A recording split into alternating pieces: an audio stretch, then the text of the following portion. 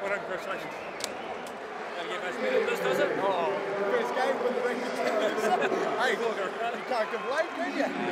I was pretty excited, uh, sort of counting down the clock and there's a lot of nerves going through the week, but it's, it's, it's just awesome to get out there and have a good blast and get a couple of trophies under the belt good run around too. It was pretty hectic there when once you got on. Yeah, it was. Uh, it was all go from the start. Uh, defensive line out and end up getting the ball, so uh, wasn't expecting that at all. So no, it's good to D up for a bit and put a few shots on.